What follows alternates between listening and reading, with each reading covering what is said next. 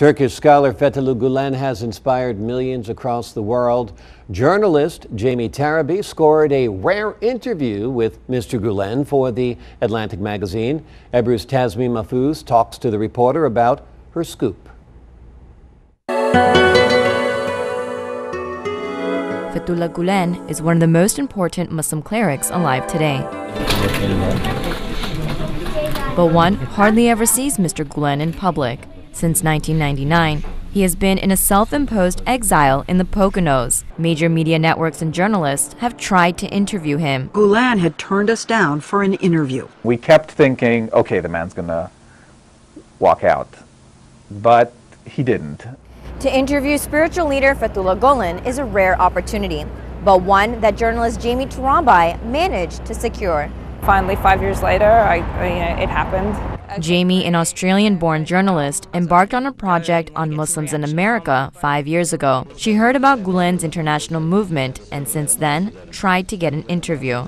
The idea that he'd been living here for so many years and had never really introduced himself to Americans, I thought was so strange. Her persistence paid off. She's one of the first to have a face-to-face interview with the renowned leader. It was great. I was very happy happy to have finally gotten the interview. He was extremely generous. Uh, he was very welcoming. I had been served tea and he was asking me to drink and there was never a sense that I wasn't welcome for, for a second there.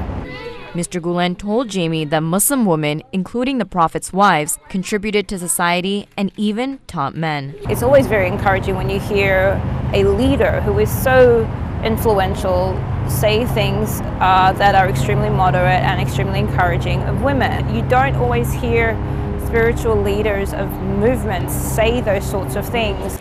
In regards to Turkey's political situation, Mr. Gulen said Turkey needs to make use of certain dynamics to take on a more active role in the region. Good relationships and influence depend on love, respect, and goodwill and collaborating around mutually agreeable goals. Jamie even had an exclusive behind the scenes look at Gulen's simple lifestyle. His living quarters are extremely modest. It's like a, a little bed, you know, not even like a double bed, just a, a single bed. And he's not married, doesn't have a family, but he's got a lot of, people around him who are there because they love him. This year, Mr. Gulen was chosen as one of Time's 100 most influential people.